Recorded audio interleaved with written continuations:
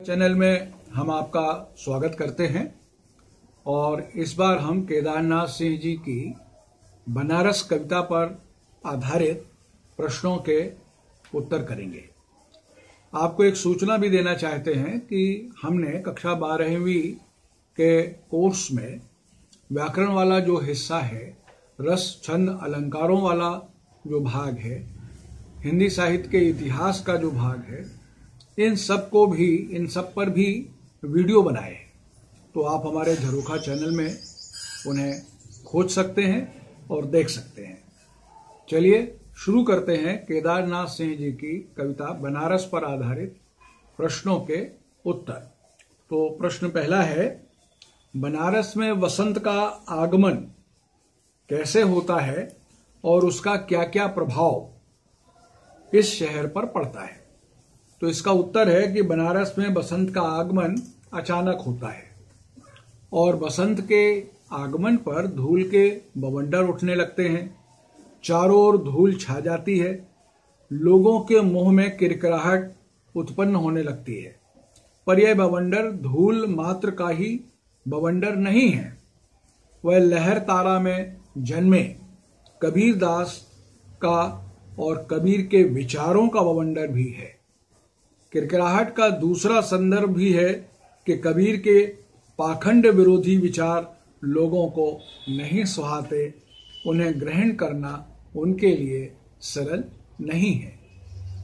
और अब प्रश्न दूसरा, खाली कटोरों में वसंत का उतरना से क्या आशय है? तो उत्तर है कि खाली कटोरों में वसंत का उतरना का आशय यह है कि भिक्षुओं के कटोरे, जो भिक्षाहीनता के चलते सूने पड़े हुए थे, खाली पड़े हुए थे, उनमें भिक्षा आने से ऐसा लगता है जैसे कटोरों में भी वसंत ऋतु आ गई हो। वे भी आनंद का अनुभव करने लगते हैं और रोटी ही उनका वसंत बन जाती है। और अब प्रश्न तीसरा बनारस की पूर्णता और रिक्तता को कवि ने किस प्रकार दिखाया है? इसका उत्तर है, बनारस की पूर्णता और रिक्तता को कवि ने इस प्रकार दिखाया है कि जैसे भिखारी का कटोरा भिक्षा के अभाव में खाली हो जाता है और उस भिक्षा मिल जाने पर भर जाता है, इसी तरह यह शहर भी भरता है और खाली होता रहता है। बनारस की रिक्तता को कभी मृत शरीरों के माध्यम से भी दिखाता है। प्रतिदिन बहुत से लोग बनारस से इसी तरह विदा होते हैं और बहुत सारे लोगों की भीड़ बनारस के प्रति अपनी धार्मिक आस्थाओं के कारण यहाँ आती है। यहाँ आना जाना लगा रहता है और यही संसार का क्रम भी है। संसार में भी लोग आते हैं और जाते हैं। और अब प्रश्न चौथा, बनारस में धीरे धीरे क्या होता है? धीरे धीरे से कवि इस शहर के बारे में क्या कहना चाहता है?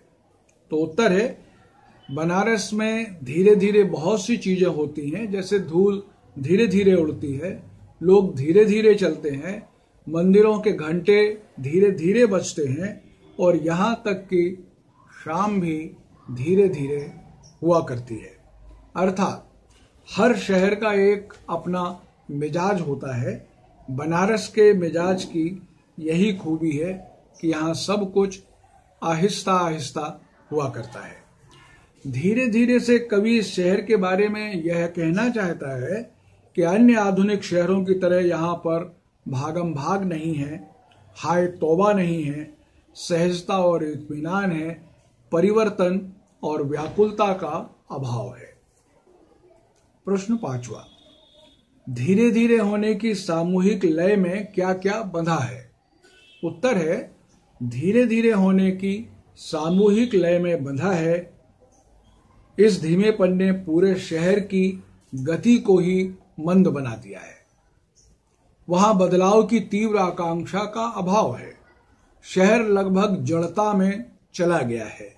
कभी उसे कुछ भी न गिरने ना हिलने से अभिव्यक्त करते हैं। इसी संदर्भ में वे गंगा, नाव और तुलसीदास की खड़ाओं की स्थिरता का भी ज़िक्र करते हैं। नाव का बंधा होना जड़ता को दर्शाता है। नाव चलती है तो उसमें गति है, पर नाव बंधी हुई है तो वह स्थिर है तो यह स्थिरता का प्रतीक है। तुलसीदास की खड़ाओं का रखा होना कबीर के क्रांतिकारी विचारों की तुलना में तुलसीदास के परंपरावादी विचारों की स्थिरता को ही व्यक्त किया गया है।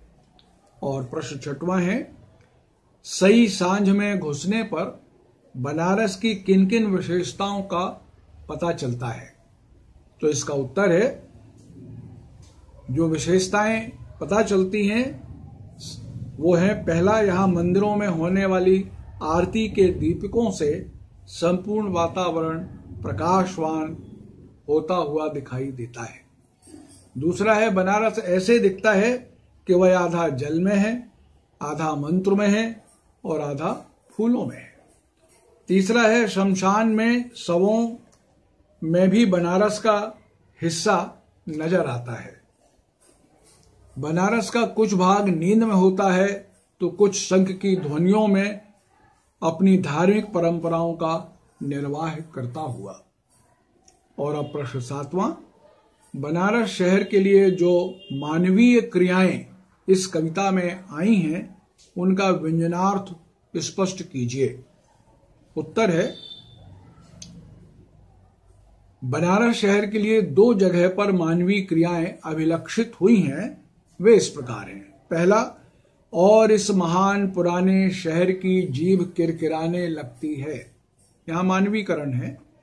तो इसी को हमको इसका जो व्यंजनार्थ है, वो जानना है।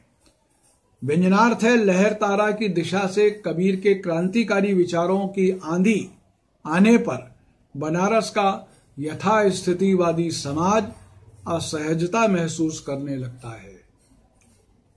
और फिर दूसरा जो अंश है, वो इस तरह है, अपनी एक टांग पर खड़ा है यह शहर, अपनी दूसरी टांग से बिल्कुल बेखबर। इसका व्यंजनार्थ है कि बनारस तुलसीदास की दास भक्ति में ही डूबा हुआ है। वह कबीर की पाखंड विरोधी विचारधारा के प्रति पूर्णतः उदासीन है। प्रश्न आठवां, शिल्प सौंदर्य स्पष्ट कीजिए। का यह धीरे धीरे होना, धीरे धीरे होने की सामूहिक लय दृढ़ता से बांधे है समूचे शहर को। इसका शिल्प सौंदर्य है, शिल्प सौंदर्य से तात्पर्य है कि कविता में जो काव्यात्मकता है, उसकी बनावट है, उसमें कौन सा सौंदर्य दिखाई देता है? धीरे धीरे होना में पुनरुक्ति, प्रकाश, अलंकार है इन पंक्तियों में सहजता का सौंदर्य है। धीमापन पूरे शहर के चारित्रिक विशेषता को बताते हुए कवि ने उसे एक लय में बंधा हुआ बताकर संगीत की भाषा में अभिव्यक्त किया है। ख, अगर ध्यान से देखो तो यह आधा है और आधा नहीं है। इसका शिल्प सौंदर्य है। कवि ने आधा होने और आधा नहीं होने के भाव को कविता में इस तरह प्रस्तुत किया है कि वह काव्य शिल्प में चमत्कार उत्पन्न करता है और गा है, अपनी एक टांग पर खड़ा है यह शहर, अपनी दूसरी टांग से बिल्कुल बेखबर। इसमें शिल्प सौंदर्य है, यहाँ पर मानवीकरण अलंकार है, विरोधाभास अलंकार है, और एक मुहावरे का भी प्रयोग हुआ है, एक टांग पर खड़े होना। क्षमा कीजिए। और इसमें प्रतीकात्मकता भी है। तो यह था केदारनाथ सिंह जी की प्रख्यात कविता, बनारस पर आधारित प्रश्नों के उत्तरों वाला हिस्सा। अगली बार हम उनकी दूसरी कविता की व्याख्या करेंगे और उसके प्रश्नोत्तर करेंगे। कृपया इसे शेयर कीजिए, लाइक कीजिए, सब्सक्राइब कीजिए। आपका बहुत बहुत धन्यवाद।